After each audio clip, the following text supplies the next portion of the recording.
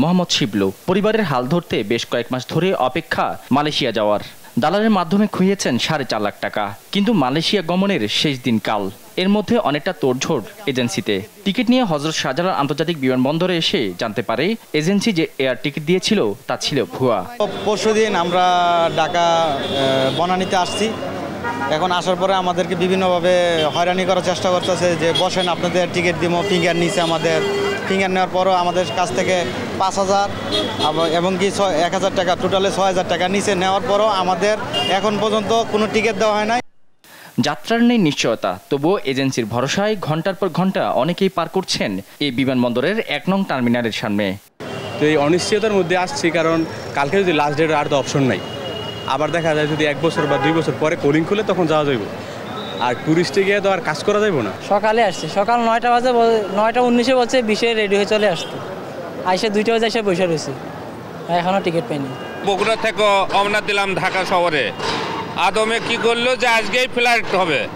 হতে হতে হতে হতে তিরিশ তারিখের দিকে নিয়ে যাওয়ার পরে সন্ধ্যের দিকে আপনার ইয়ে দিল টিকিট দেওয়ার পরে এয়ারপোর্টে চলে এলাম। আসার পর এই পর্যন্ত বর্তমানে থকিত হয়ে আছে। এখনও ঢোকাঢুকি যায়নি।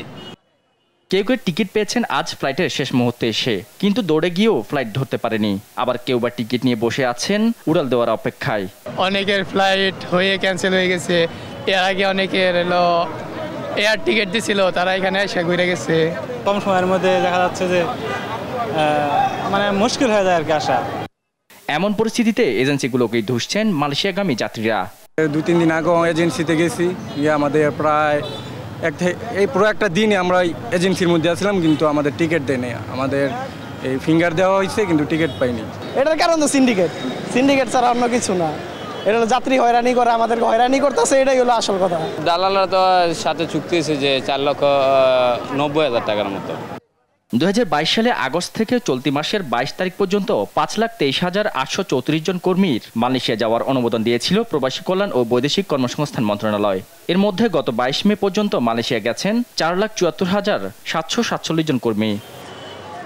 সাদাত নিষাদ দেশ টিভি, ঢাকা।